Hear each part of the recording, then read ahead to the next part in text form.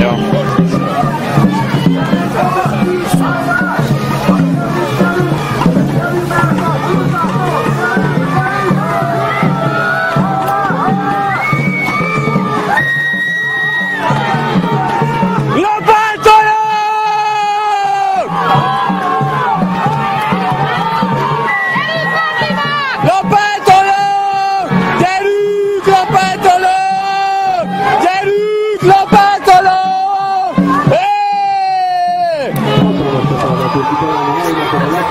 Betűtőjeinek, mondom, a télapátolók is ünnepli magukat, mert elkapítanak szépen teljesített, a Magyar Bíróságra várni eldöntő, hogy hogyan és milyen időre jöttek be a csapatok. Nagyon szép és nagyon szoros betűtő volt, ugye a Timovi lapától be voltak egy kicsit maradva, de hihetetlen tempóban jöttek felfelé. A Merka között a végig a mezőn, a Bírkái Matilák szépen teljesítettek, aztán a Merka a véget egy picit